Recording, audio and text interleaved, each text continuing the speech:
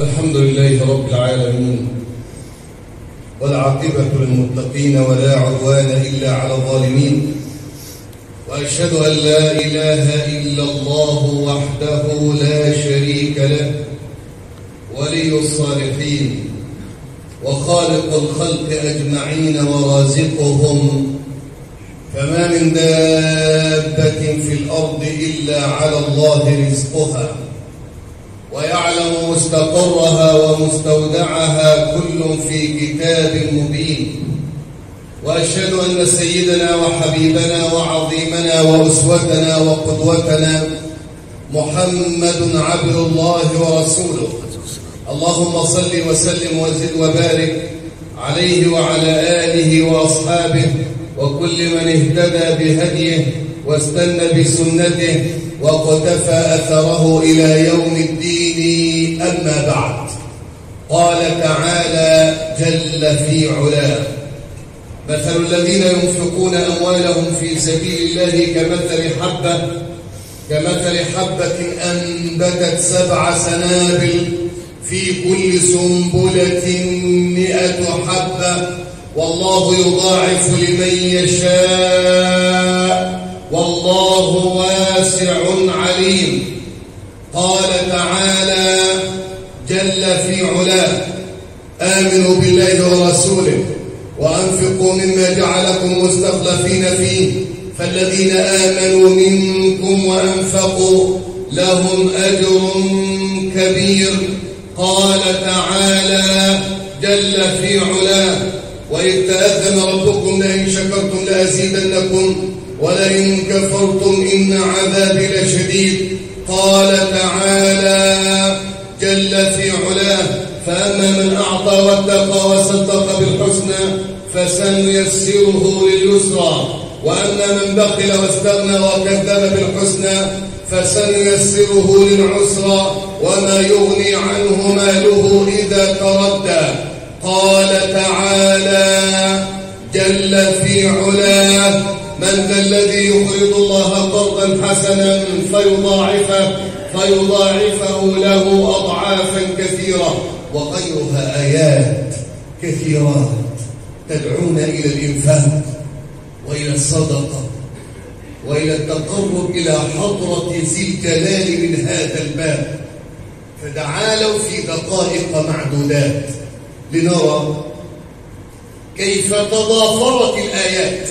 والسنة النبوية المطهرة في دعوة المسلمين في دعوة من أراد الله ورسوله والدار الآخرة أن ينفق في سبيل الله على كل مسكين على كل محتاج على كل فقير على كل أرملة على كل مصاب على كل ضعيف. قال النبي صلى الله عليه وسلم والحديث عند الإمام مسلم.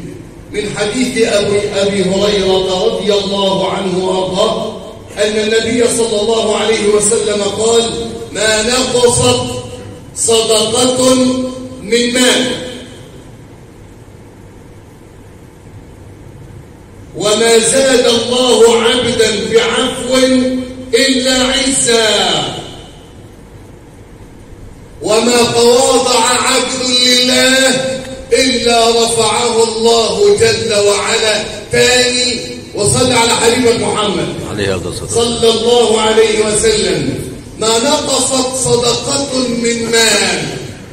سنة لما طلع صدقة. الرقم بيقل بس البركة بتزيد. يبقى ما ينقص أبدا. ما نقصت صدقة من مال. وما زاد الله عبدا بعفو إلا عزا اعفوا واصفحوا وسامحوا وتصالحوا. وما زاد الله بعبد عبدا بعفو إلا عزا وما تواضع عبد لله إلا رفعه الله جل وعلا. كذلك يقول عليه الصلاة والسلام في خطبة يوم جمعة كما روى الإمام ابن ماجه من حديث جابر بن عبد الله. يقول جابر خطبنا رسول الله صلى الله عليه وسلم يوم جمعة فقال أيها الناس شوف مدة خطبة النبي قد إيه؟ لا تتعدى ربما دقيقة دقيقة ونصف بالدعاء دقيقتين ثلاثة. لكن البلاغة كلها حضرة سيدنا النبي.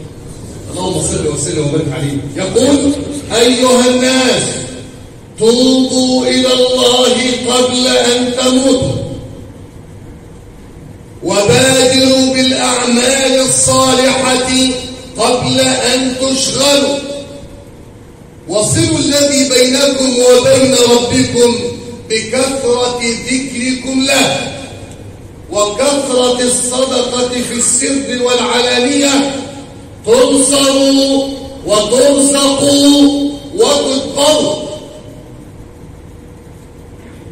كذلك وصح عند الإمام الترمذي وربما يعرف كلنا هذا الخبر أن النبي صلى الله عليه وسلم لما ذبح شاة في بيته يقول يا عائشة ما بقي منها اللي فاضل منها يا عائشة. قالت يا رسول الله لم يبق منها إلا كتفها. فقال النبي صلى الله عليه وسلم يعني وزعناها كلها يا رسول على الفقراء؟ مش فاضل إلا الكتف بس. فقال النبي صلى الله عليه وسلم يقول لنا عايز يقول لنا لا بالعكس. بل بقيت كلها غير كتفها. يعني كلها موجودة في الميزان هو ده اللي باقي. بل بقيت كلها غير كتفها.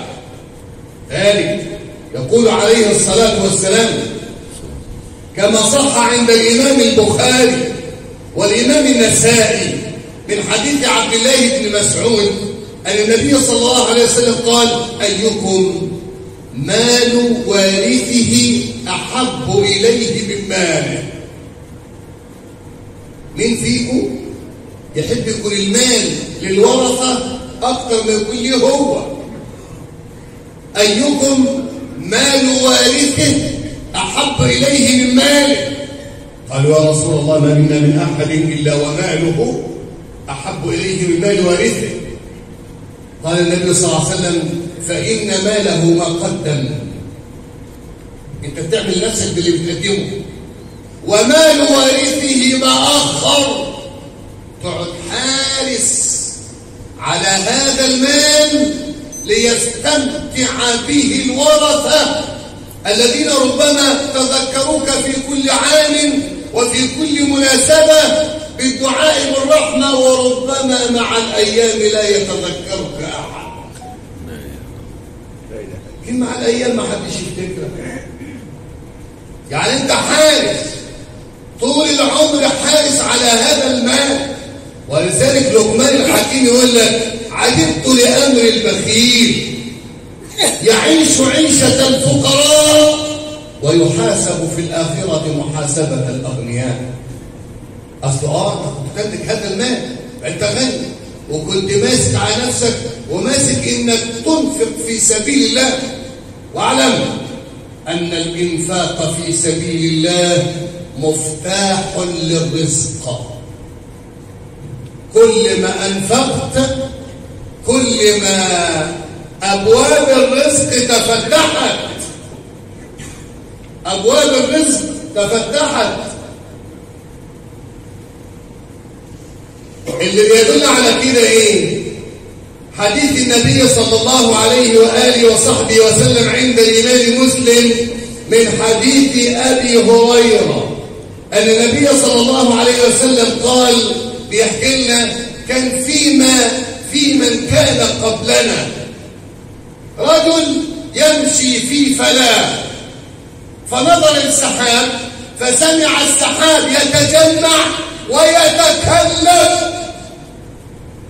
سحاب ضباب بيتجمع ويتكلم وذكر اسم فلان. وكأنما هاتف بين السحب. باسم رجل. قال فتعجبت الرجل تتعجب.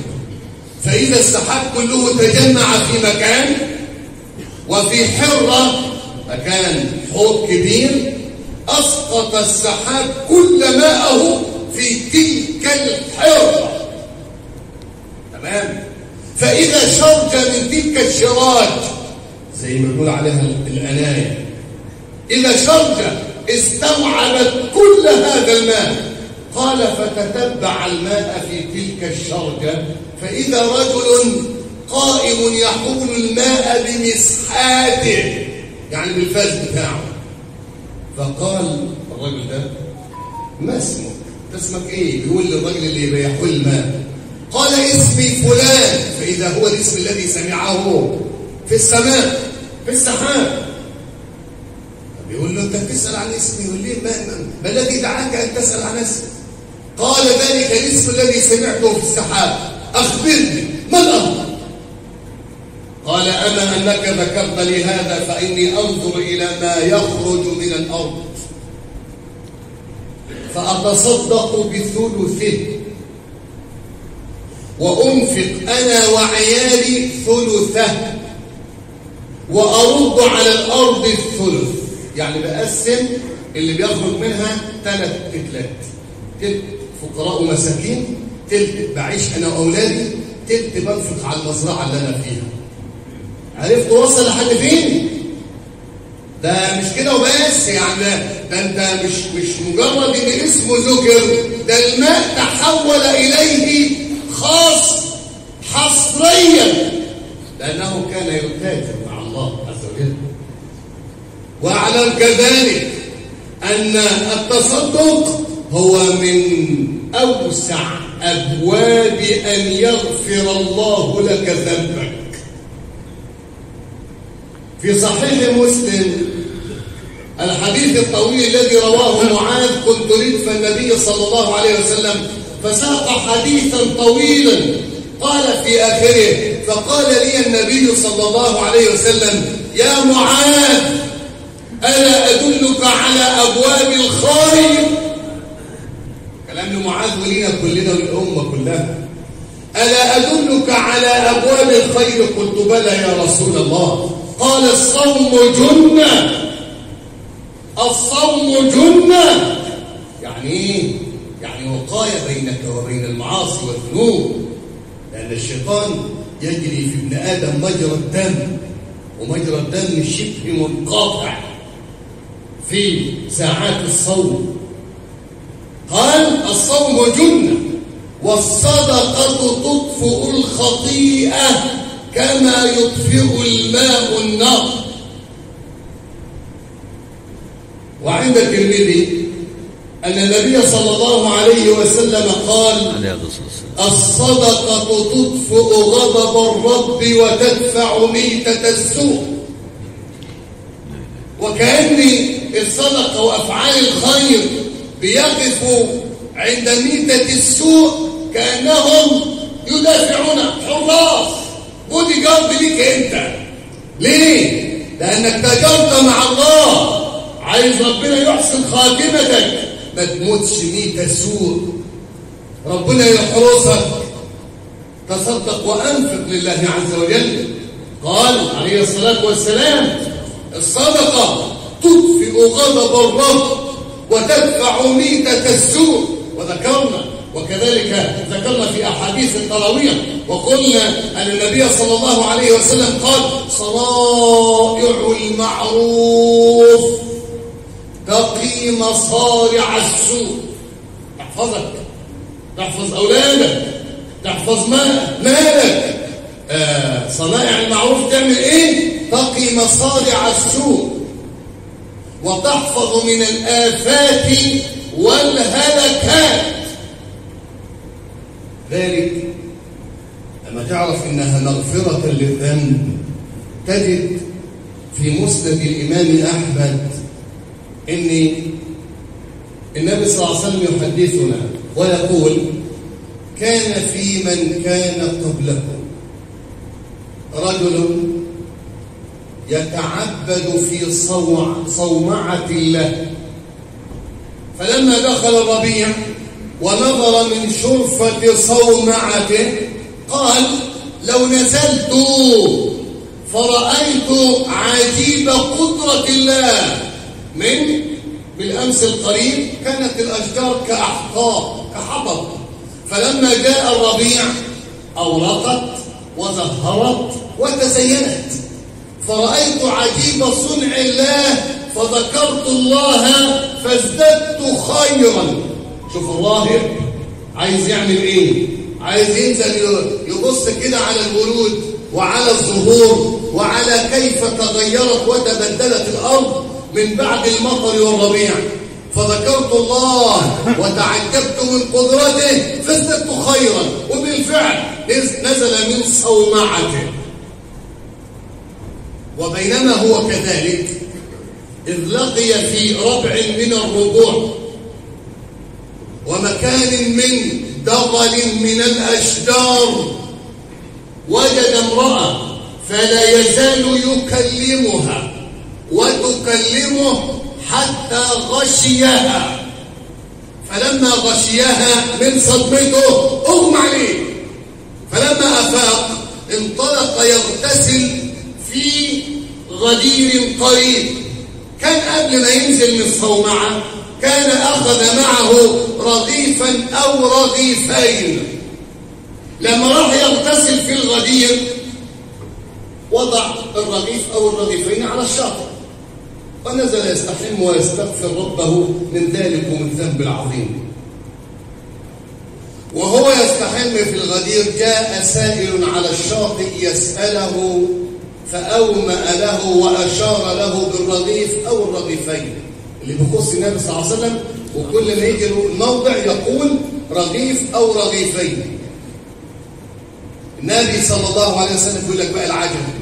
أنه لما وقف بين يدي الله عز وجل وضعت عبادة ستين سنة في صومعته لم يعص الله طرفة عين. ووضعت الزانية في كفة فرجحت الزانية يا شباب. بعبادة الستين سنة. رجحت. لكن الله برحمته وضع له الرغيف أو الرغيفين في ميزان حسناته فرجحت بهن ميزان حسناته وغفر الله له بصدقته. يبقى لابد اللي نتأكد منه إيه؟ أن صنائع المعروف تنجيك في الدنيا تقي مصارع السوء والآفات والهلكات وتنجيك في الآخرة لأنها توضع في ميزان الحسنات. يوم اللقاء يوم لا ينفع مال ولا بنون. إلا من أتى الله بقلب سليم. يقول عليه الصلاة والسلام كل ابن آدم خطاء وخير الخطائين التوابون. وتوبوا إلى الله جميعا. أيها المؤمنون لعلكم تفلحون. الحمد لله رب العالمين والعاقبة للمتقين ولا عدوان إلا على الظالمين. وأشهد أن لا إله إلا الله وحده لا شريك له. ولي الصالحين وخالق الخلق أجمعين ورازقهم وما من دابة في الأرض إلا على الله رزقها ويعلم مستقرها ومستودعها. كل في كتاب مبين. أشهد أن سيدنا وحبيبنا وعظيمنا وأسوتنا وقدوتنا محمد عبد الله ورسوله. اللهم صل وسلم وزد وبارك عليه وعلى آله وأصحابه. وكل من اهتدى بهديه واستنى بسنته وكتفى أثره إلى يوم الدين أما بعد. فلن تصل إلى مرادك في الدنيا ولا في الآخرة ولا في جنة الخلد حتى تنفذ ما قاله الله وقاله رسول الله صلى الله عليه وسلم. ذلك صحابة النبي صلى الله عليه وسلم.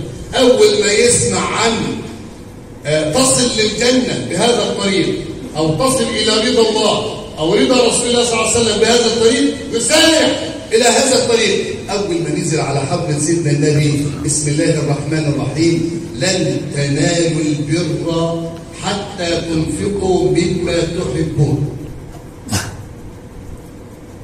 كان سيدنا أبو طلحة عنده جدار. فيه نخل وفيه به ما في قمة قمة العذوبة. والنقاء وكان النبي صلى الله عليه وسلم يحب أن يشرب من ذلكم البئر وهذه الأرض وذلكم الجدار في مقابلة مسجد رسول الله صلى الله عليه وسلم. في أرض يقال لها برحة فلما نزل قوله تعالى لن تنالوا البر حتى تنفقوا مما تحبون جاء أبو طلحة للنبي صلى الله عليه وسلم وقال يا رسول الله إن أحب مالي إلي الذي بضرحاء والذي فيه البئر الذي تحب أن تشرب منه. وربنا أنزل عليك يا رسول الله لن تنالوا البر حتى تنفقوا مما تحبون. وأنا أشهدك يا رسول الله أن هذا الجدار وتلك الأرض لله ورسوله. فقال له النبي صلى الله عليه وسلم بخ بخ ذلك مال رابح. ذلك مال رابح. قال يا رسول الله هي لله ورسول فافعل بها ووسعها وقسمها كيفما شئت. فقال له النبي صلى الله عليه وسلم بل قسمها أنت يا أبا طلحة على أرحامك والأقربين. فقسمها جميعا على أرحامه والأقربين كما أمره رسول الله صلى الله عليه وسلم. الشاهد أنك لن تصل إلى توفيق الله. وتوسعة الرزق ومغفرة الذنب في الآخرة إلا أن تنظر إلى ما أمر ما أمر الله وما أمر رسوله صلى الله عليه وسلم من أن تسارع في النفقات. أخرجت زكاة الفطر ولا لسه؟ زكاة الفطر الأصل عشان بس إيه؟ الأمانة بين يدي الله عز وجل. الأصل أن تخرج طعمة كما أخرجها النبي طعمة اسمها فطر يعني طعام. وأخرجها أبو بكر طعم وأخرجها عمر طعم وأخرجها عثمان طعم وأخرجها علي طعم وأخرجها كل من عاصر النبي وعاصر من عاصر النبي وعاصر من عاصر من عاصر النبي. يعني الصحابة والتابعين وتابع التابعين أخرجوها طعمة يعني طعام أما أن الإمام أبو حنيفة اجتهد في هذا. وقال يجوز أن تخرج قيمة فالقيمة كما قال دار الإفتاء هذا العام خمسة عشر جنيها عن الفرد. أنت وزوجتك ومعك مثلا ثلاث أولاد. يبقى عددكم كلكم خمسة. خمسة في 15 75 جنيها كحد أدنى. لكن كل ما قدمت لله كل ما كان في ميزان حسناتك يوم اللقاء. كذلك أذكرك وأذكر نفسي بزكاة المال. زكاة المال لما بيقولوا حال عليها الحول.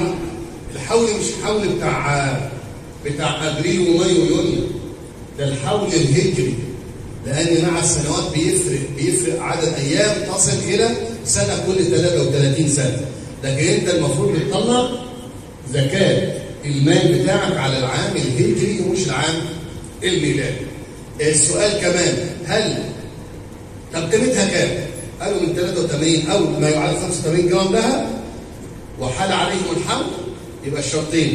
القيمة دي النصاب ده وحال عليه الحول تخرج 2.5% يعني يعني من كل 40 جنيه تطلع جنيه. يعني يعني من كل 1000 جنيه تطلع 25 جنيه. متى بلغ أن النصاب حال عليه الحول سؤال يجوز إن أنا أعملها على أقساط شهرية؟ يجوز بس تكون كاتب ده لئلا تموت وعليك شيء من زكاة المال فاللهم تقبل منا إنك أنت التواب الرحيم إنك أنت السميع العليم يا رب العالمين وتب علينا إنك أنت التواب الرحيم.